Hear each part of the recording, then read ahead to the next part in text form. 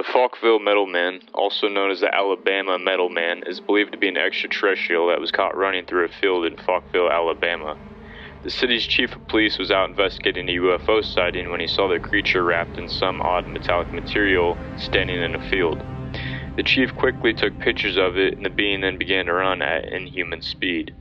Chief returned to his truck and sped after the metal man, only going about 35 miles due to the terrain, but the ent- entity left his truck in the dust. Luckily, I got in contact with the sheriff who had experienced this. His name is Jeffrey Greenhaw, and what he experienced is a very strange counter. Now, am I saying this is real? I can't be 100% sure, but do I believe the man? Yes, I do. Strange things happen in our world. Some are very hard to believe. And something so odd like this, almost costumey looking in nature, can be very easy to dismiss. But when looking at the facts, the way this man has progressed through his life, you will see that throughout this interview, he's telling the truth. How are you doing today? Um, I'm having my good days and I have my bad days. I've had a lot of health problems here in the past few years that uh, you know has took its toll on me. But basically, I'm you know I'm making it. Yeah, absolutely. I understand that. Now with the COVID, that's pretty troubling times around. So. Yeah, I've I've stayed pretty well isolated for the past well since uh, February the twenty third of uh, this year.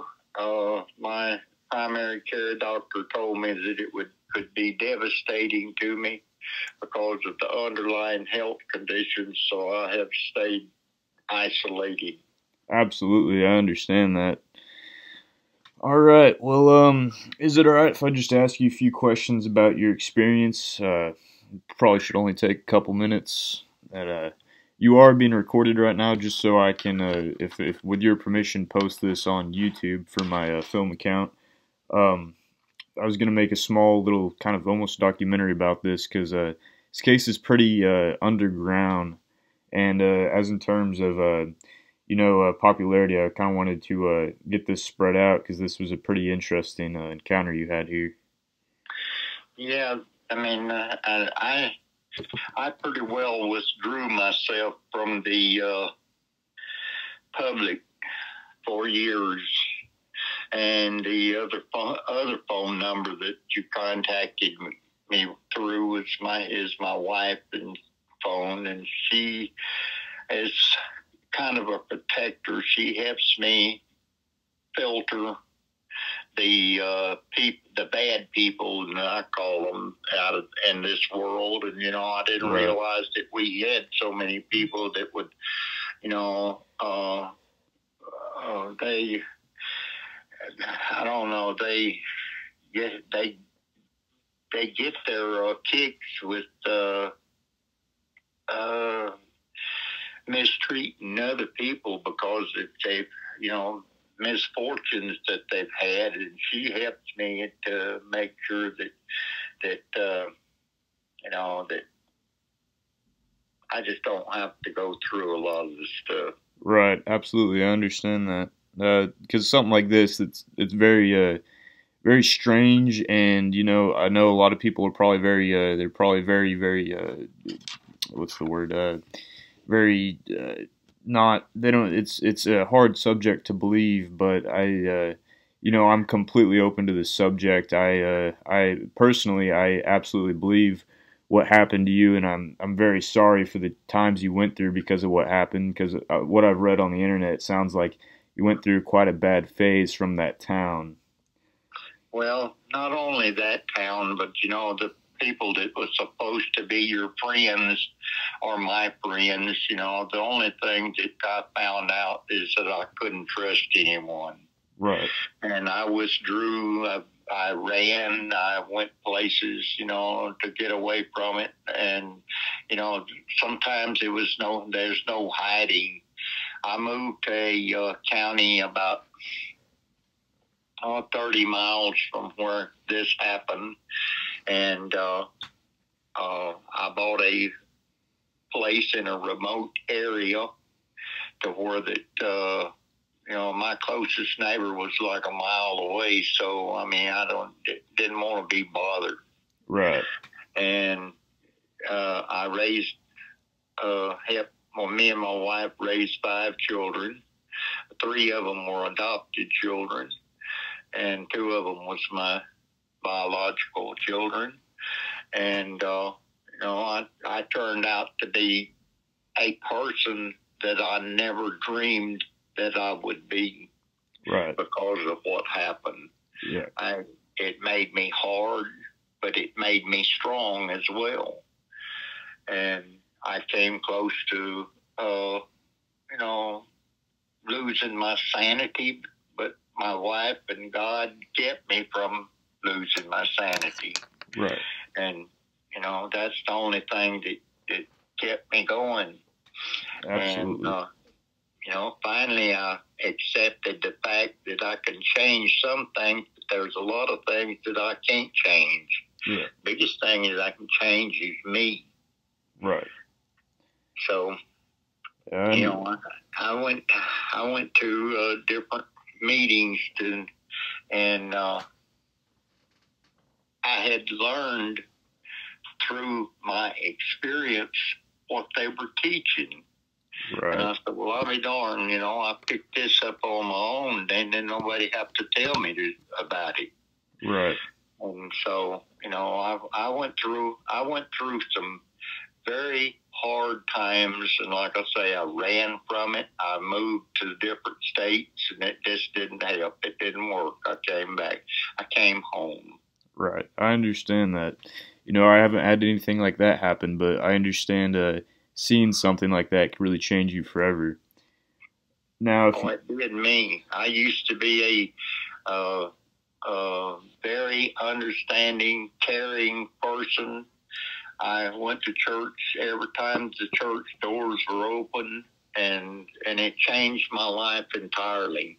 I still am a believer in a life after death, and I believe.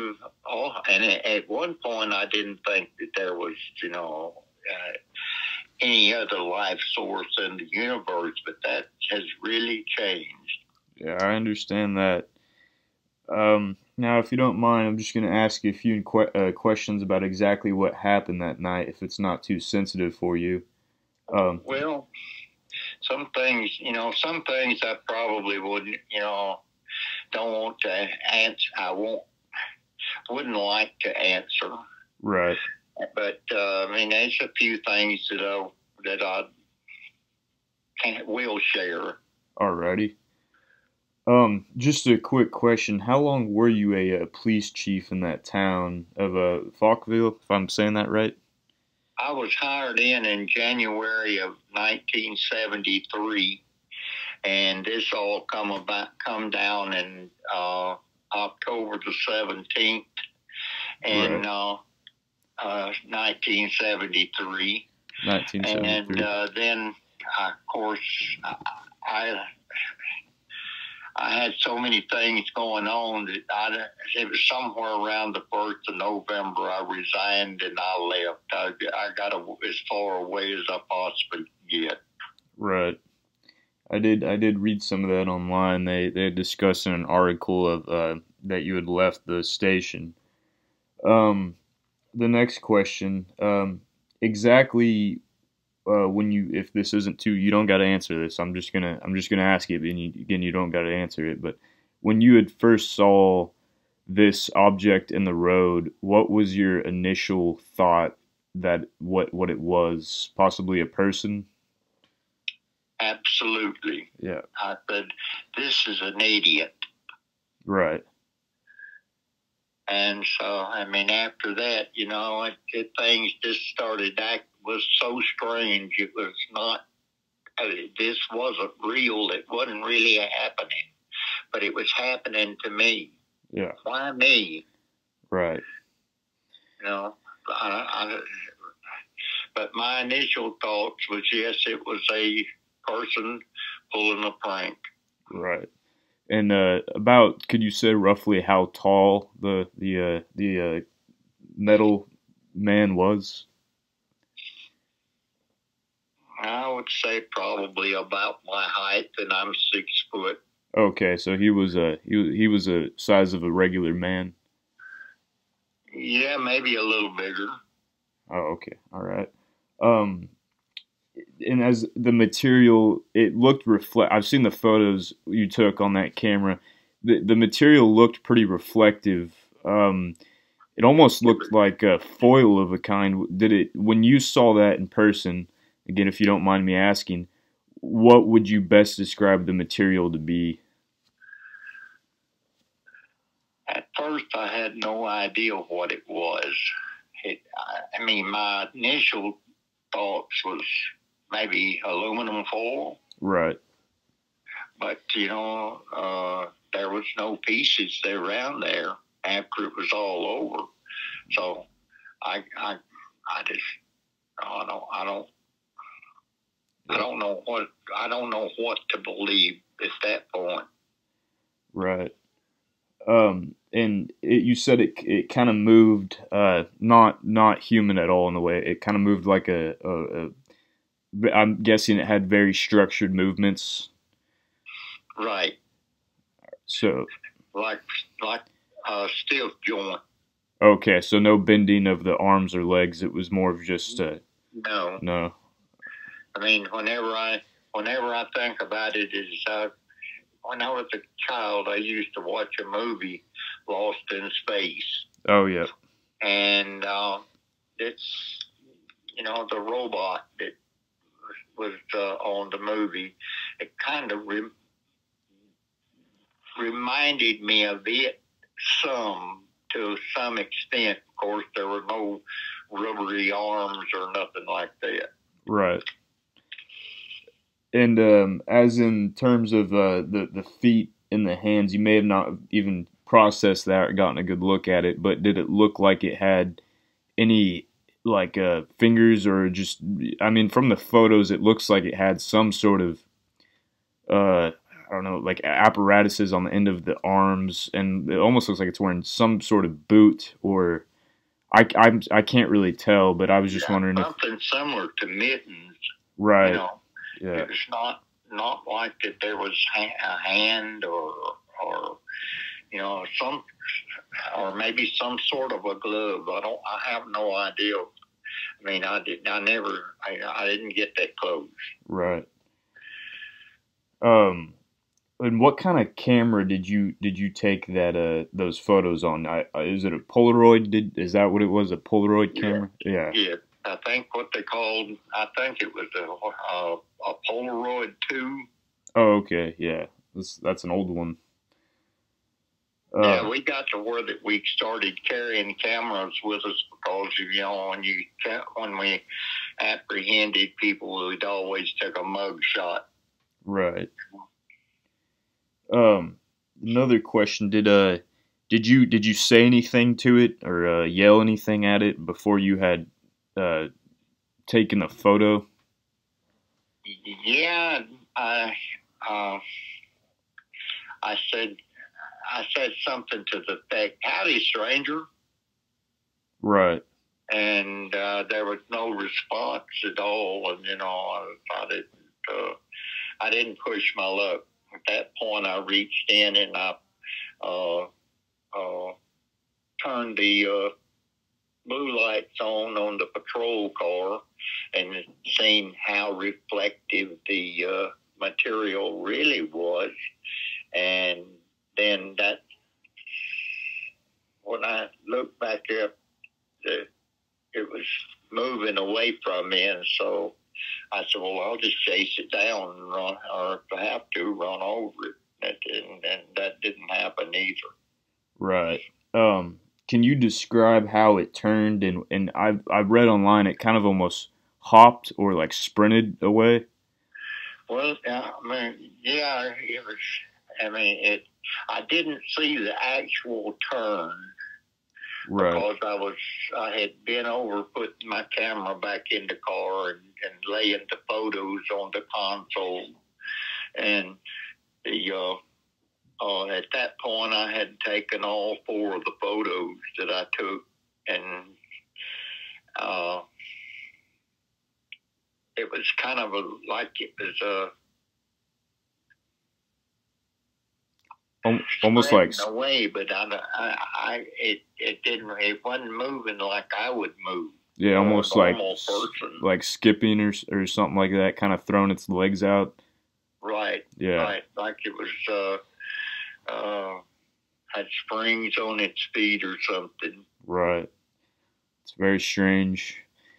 Um, so uh, I've read that there was an antenna on top of the head of it. It do, is that true? Was there a, some sort of object? I didn't. I never seen that until I looked at the photos real close. Right, that there was an object on the top of its head. Right. There was. I mean, it was like some kind of a helmet of some sort, Right, and on top of it there was a uh, like a remote control antenna or something. right. And there was no face on the on the helmet either. It was just kind of just a material. Nothing that I could make out. Right. Yeah. and and uh, but the funny thing about it is, is sometime later that there was a woman came forth uh, when there was some people investigating it and told that she was the one that made that phone call to me that night. Yeah, about the landing. I couldn't, I could, don't remember what her name is, but she came forth and told uh, some people that were uh,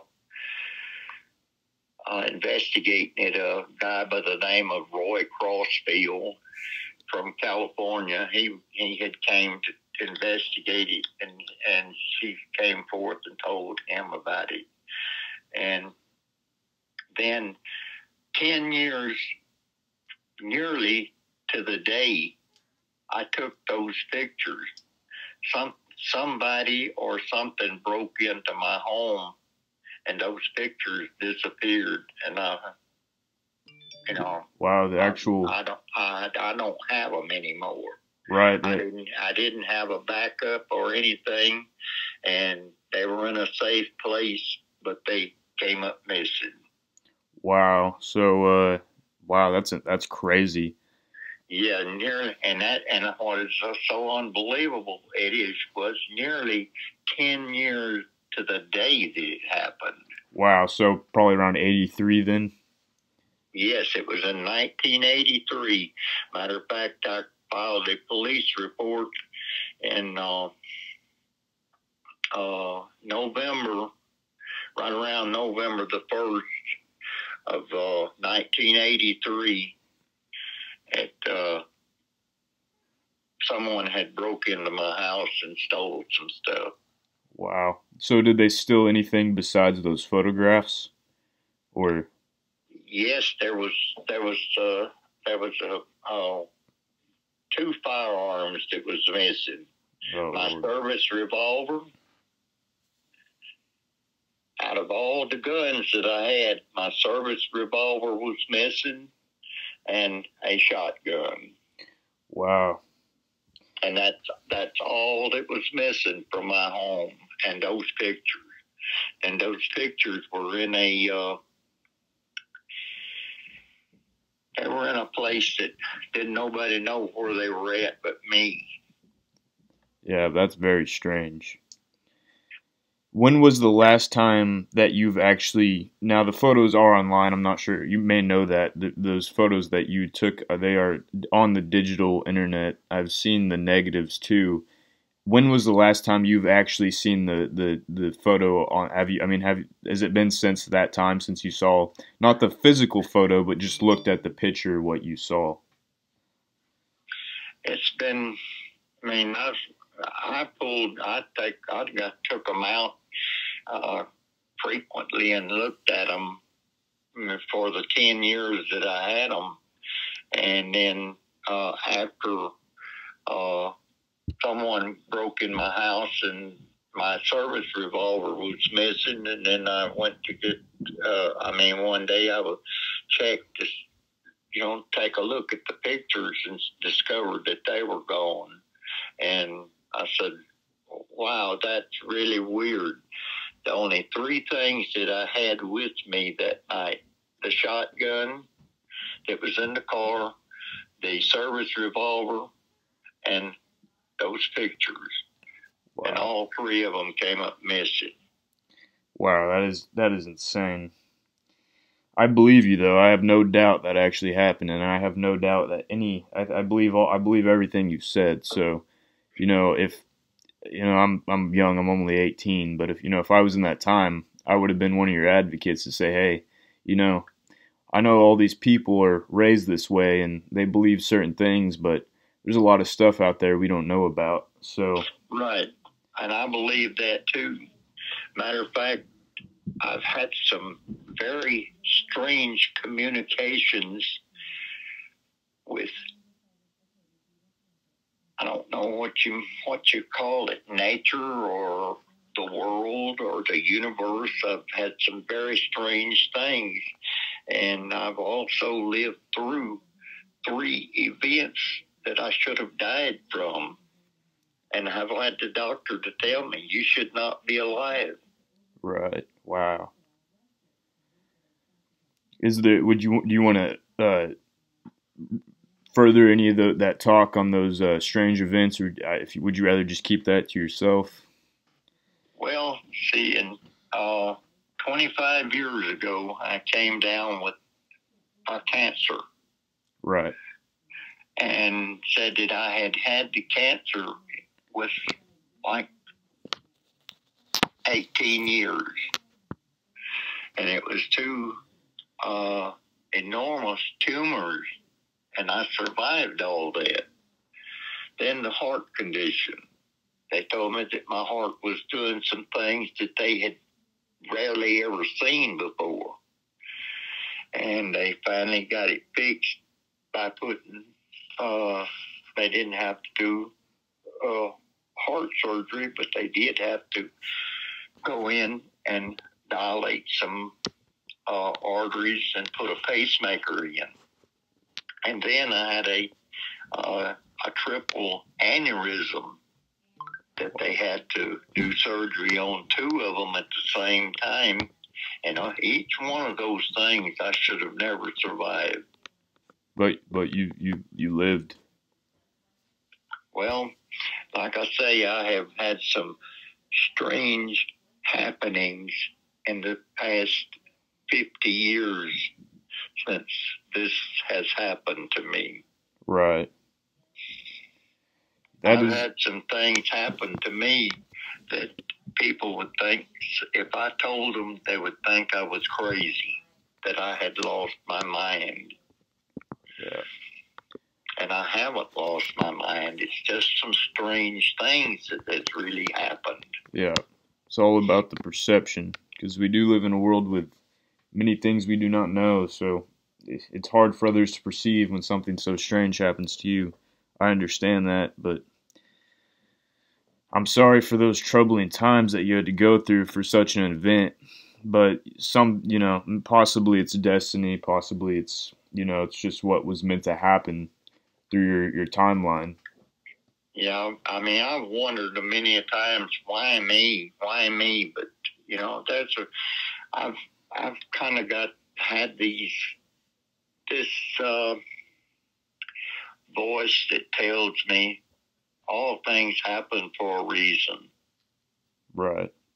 you know, and I I firmly I believe that I believe that too, that things happen for a reason, and there's something I don't know what it is, but just like whenever I, I became a workaholic, and uh, after I had cancer, then that I had so many things that happened due to the cancer, and a year of chemotherapy, chemotherapy that uh, I couldn't work anymore. And I was wondering why did this happen to me? Well, I raised three grandchildren for nine years. I found out why that I didn't, you know, why I was left here, raised my raised these grandchildren, and now I've had two more grandchildren for five years. Right. So I've been raising children. Yeah. I, I didn't become a person of hatred like a lot of people thought that I would I would be, but I I don't trust a lot of people. Yeah, I understand that. You know, the the the fact is is that you've succeeded, uh, even though you've been through those times. You you you've you've stepped up and you have been the better person. And when people are you know they're criticizing you, it, they, their voice doesn't matter because you know what's true, you know what's real. Right. And and it, and there there was times in my life that I did consider hurting some people, but then I decided better. Right. They'll get theirs in the end because I'm a firmly believe if you do something to someone that it's going to come back to you more than what they Right. you done to them. Yeah. Absolutely. So they'll get theirs in the end. I don't have to worry about it. Yeah, that's true. It's karma. Right. Yeah. Now, uh, one other question, not to change top chop topics too rapidly, but um, you said a woman had called about uh, uh something. Was it a sighting, or did she really say something had landed in on her property?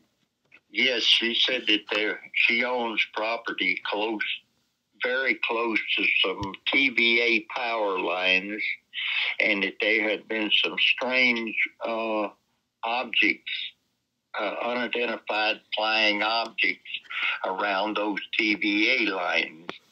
And she said that night that there was uh, a lot of uh, traffic in the air under and around those TVA power lines.